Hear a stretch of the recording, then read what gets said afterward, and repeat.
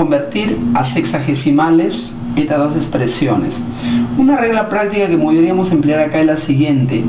Ya sabemos que pi radianes, pi radianes equivale a 180 grados.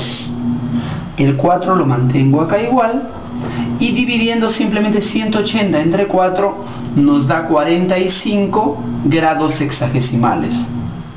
Aquí recuerdo lo siguiente, recordemos lo siguiente acá. 9 grados, 9 grados sexagesimales equivale a 10 grados centesimales.